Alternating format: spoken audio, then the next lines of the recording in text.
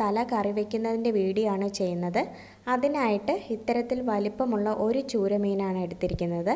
ഇത് ഒത്തിരി വലിയ മീനല്ല എന്നാൽ തീരെ ചെറുതുമല്ല. ഈ വലിപ്പത്തിലുള്ള മീനിന് ഇരുന്നൂറ്റമ്പത് രൂപയാണ് ഇപ്പോഴത്തെ വില. തല കറി വയ്ക്കാനായിട്ട് ചൂരമീനിന്റെ തലയും അതിന്റെ നടുക്കത്തെ എല്ലും വാലിന്റെ അറ്റത്തുള്ള കുറച്ച് ചെറിയ കഷ്ണങ്ങളും കൂടെ എടുത്തിട്ടുണ്ട്. കുറച്ച് എല്ലും കഷ്ണങ്ങളും കൂടെ ചേരുമ്പോഴാണ് കറിക്ക് നല്ല രുചി ഉണ്ടാകുക.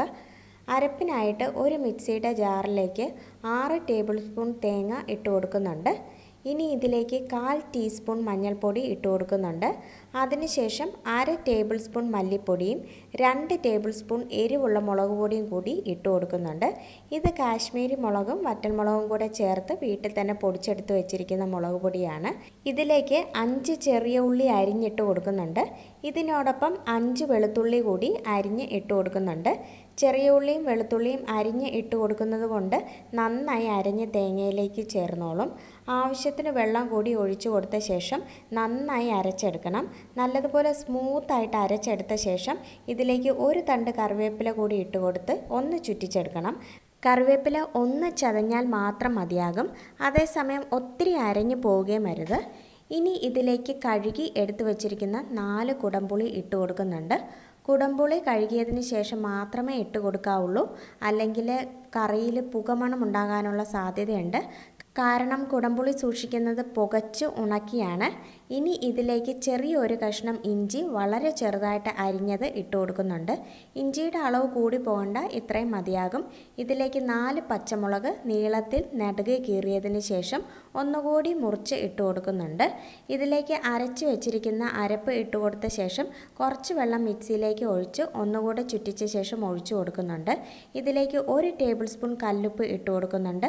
കല്ലുപ്പ് ചേർത്ത് മീൻ കറി വയ്ക്കുന്നതിന് ഒരു പ്രത്യേക സ്വാദാണ്. ഇനി കുറച്ചുകൂടെ വെള്ളം ഒഴിച്ചു കൊടുക്കുന്നുണ്ട്. ഏകദേശം രണ്ട് ഗ്ലാസ് വെള്ളം ഒഴിച്ചിട്ടുണ്ട്.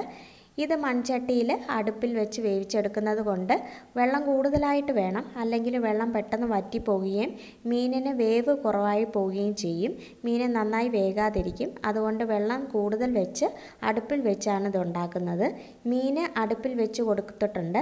ആദ്യം തിളയ്ക്കുന്നത് വരെ നല്ല തീയിൽ വെച്ച് കൊടുക്കണം. കൊതുമ്പും ചൂട്ടുമൊക്കെ വെച്ചാണ് തീ കത്തിക്കുന്നത്.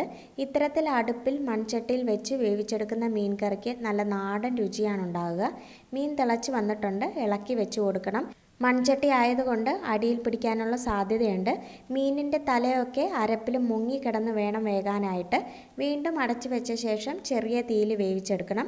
ആറ് മിനിറ്റ് കഴിഞ്ഞപ്പോൾ തന്നെ മീൻ തിളച്ച് വന്നിട്ടുണ്ട്. ഇപ്പോൾ പതിനഞ്ച് മിനിറ്റ് കഴിഞ്ഞിട്ടുണ്ട്. ഈ സമയം ഇളക്കി ഉപ്പും പുളിയും നോക്കണം. ഉപ്പ് വേണമെങ്കിൽ ചേർത്ത് കൊടുക്കണം. ഉപ്പും പുളിയും പാകമാണെങ്കിൽ അടച്ചു വെച്ച് അല്പനേരം കൂടെ വേവിക്കണം.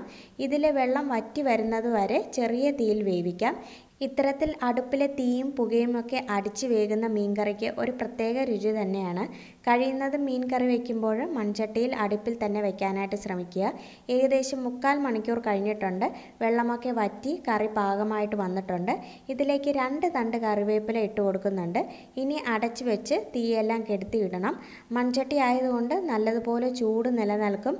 ആ ചൂടിലിരുന്ന് അഞ്ച് മിനിറ്റ് കഴിയുമ്പോഴേക്കും കറി തിളച്ച് പാകത്തിന് കുറി വന്നോളും. ഇത്രയേ ഉള്ളൂ. തലക്കറി റെഡി ആയിട്ടുണ്ട്. നന്നായി വെന്ത് വന്നിട്ടുണ്ട്. നല്ല കപ്പയുടെ കൂടെ കഴിക്കാൻ വളരെ നല്ലതാണ്. ഇനി ചൂരമീനിന്റെ തല കിട്ടുമ്പോൾ ഇത്തരത്തിൽ കറി വെച്ച് കഴിച്ചു നോക്കിയ ശേഷം അഭിപ്രായം അറിയിക്കുക. വീഡിയോ ഇഷ്ടമായെങ്കിൽ ലൈക്കും ഷെയറും ചെയ്യുന്നതിനോടൊപ്പം ചാനൽ സബ്സ്ക്രൈബ് ചെയ്യാനും മറക്കരുത്. ബെൽ ബട്ടൺ കൂടി ഇനേബിൾ ചെയ്തോളൂ. മറ്റൊരു നല്ലൊരു വിഭവമായി മറ്റൊരവസരത്തിൽ വീണ്ടും കാണാം. താങ്ക്